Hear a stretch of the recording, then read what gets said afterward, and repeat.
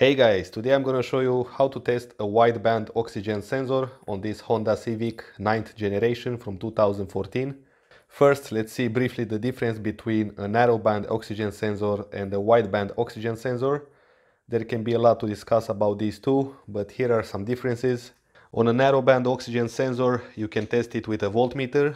The information provided to the computer will be limited to either rich or lean condition from the exhaust gases. They can be imprecise in some situations since they are limited as the name narrowband also mentions. So narrowband oxygen sensors are less expensive and since there will be basically just two signals from the sensor, it's easier to read and use the live data in your diagnostic process.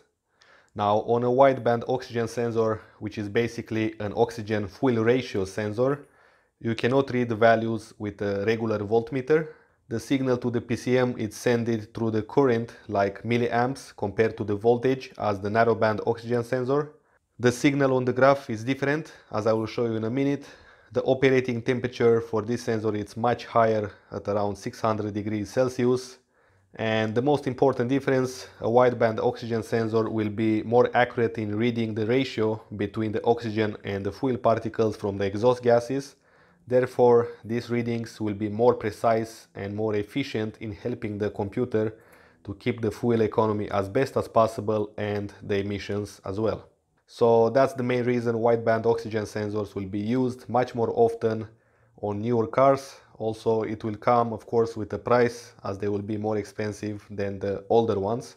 Now with that being said, the air-fuel ratio sensor on this car is located back there on the exhaust manifold. So go ahead and use the oxygen sensor socket with some extension you need and of course a long breaker bar. Place the socket on the sensor. If it doesn't come out easy, spray some penetrating fluid down here and it should be able to remove it after uh, an hour or so.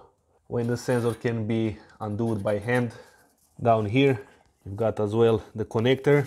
There is a little tab in here. Press it and remove it from the bracket. Then press on this other tab and the connector will come out. Then you're going to be able to undo the sensor all the way out. As I mentioned before there is no much you can test with a voltmeter on this sensor except the resistance between these two black wires. These two are for the heater inside the sensor which will bring the sensor to the operating temperature much faster. So with a voltmeter turn it to ohms readings. We've got here these two black wires these two pins should have full continuity through them. And it does as you can see almost no resistance in there. Now with the key in the second position connect some needle probes on your voltmeter turn your voltmeter to direct current 20 volts and on the connector you should be able to read 12 volts. That's going to be for the heater so I'm going to plug my connectors trying to not touch each other because otherwise you're going to fry the computer here we go. We've got 12 volts down there. And that's pretty much it. You can do with a voltmeter on this air fuel ratio sensor. Now in order to read if the sensor is active and if it sends signal to the PCM I'm going to place it on this support like that. I will plug back the connector. And again with the key in the second position make sure that you have enough battery on the car. Down here down here you're gonna find the OBD2 port next to this fuse box. So just plug in your scan tool. So you'll need either a scan tool or a voltmeter which can read milliamps in order to read the signal from this air fuel ratio. On some scan tools you will also see the voltage which will be flat somewhere between 2 volts and 4 volts while the engine is running normally. But on this scan tool you can actually read the milliamps which will change depending of the air fuel ratio so let's see. So I'm going to heat up the sensor with a torch and you should be able to see the sensor going rich. So I'm gonna go from all the positions. Now the air fuel ratio is reading a rich condition when the milliamps are going up and you'll notice when I will blow on the sensor these values will go in minus pretty fast. And let's see. You see we've got 1000 milliamps in minus. So let's see, let's warm it up again. Now I have the torch on it and it's going up.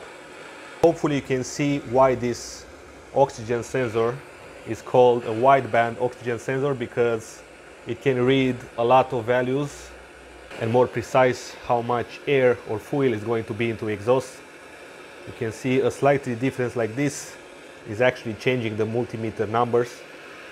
Basically this test which you saw right now can save you a lot of money by not buying a new sensor when in reality the sensor still works. Now in order to see how the sensor reacts while driving, I will just reconnect it back when it's cooled, first into the exhaust and then I will plug back the connector.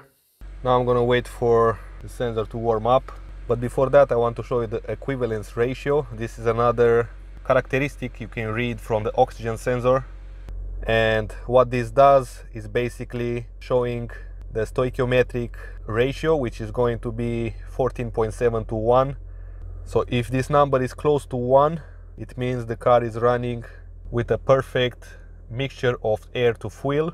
This is going to be very useful when detecting air leak or anything. This is basically another number for the, the long-term fuel trim and short-term fuel trim.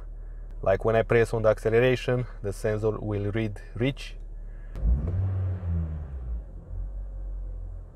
Here you can see when I pressed on the acceleration pedal, the sensor read rich and then a big lean condition there, again rich and then it stabilized to 1, around 1.